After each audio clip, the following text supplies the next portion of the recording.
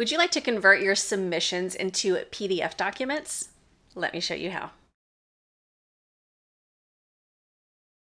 Hey Jotformers, welcome back. I'm Kimberly, and as you can see, I'm currently in the desktop version of my dashboard, and converting your submissions into PDFs can be very beneficial for you, and there's actually a lot of things that we can do within this realm. So let me show you a few of the highlights. So I'm gonna go ahead and choose my expense reimbursement. I'm going to hover over it so the entire thing highlights.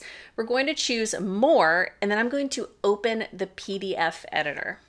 Now, upon first glance, this looks really basic. So if you would like to level this up to fit your branding, we can do that right here within the PDF editor. So over on the left-hand side, if we want to add in a heading, we can drag in a heading. If we want to bring in an image, maybe it is your company's logo, we can have this fit into our company branding. Now, some other things that we can bring in that currently aren't a part of the form. Over on the left-hand side, we have these different form elements. So we can bring in our form title right here, or maybe we want that to be our heading right up here. So we can go ahead and get rid of this heading right here.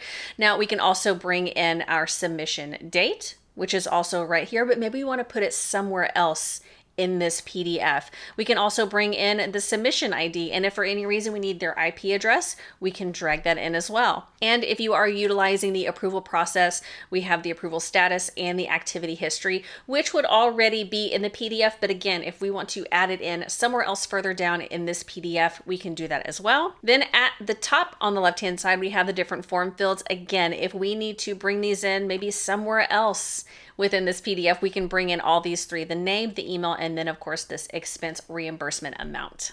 Now from here, if we want to send this PDF to someone, all we need to do is come up here to the top right hand corner. We can click send. We can send them the link to view this, or we can send it as an attachment within our email right here. And of course, before we hit send, we can edit this as well. Now, if we want to print, we can hit the print button. And if we want to download every single one of these submissions as a PDF, we can click right here. It's going to download. It's going to put it in the bottom left-hand side of my screen once it is done right down here. But it is as simple as that. If you have other questions about converting your submissions into PDFs, definitely check out our landing page that has a ton of other help articles. And don't forget to like this video and subscribe to our channel and turn on that bell to see notification every time we put out a new video. I'll see you next time.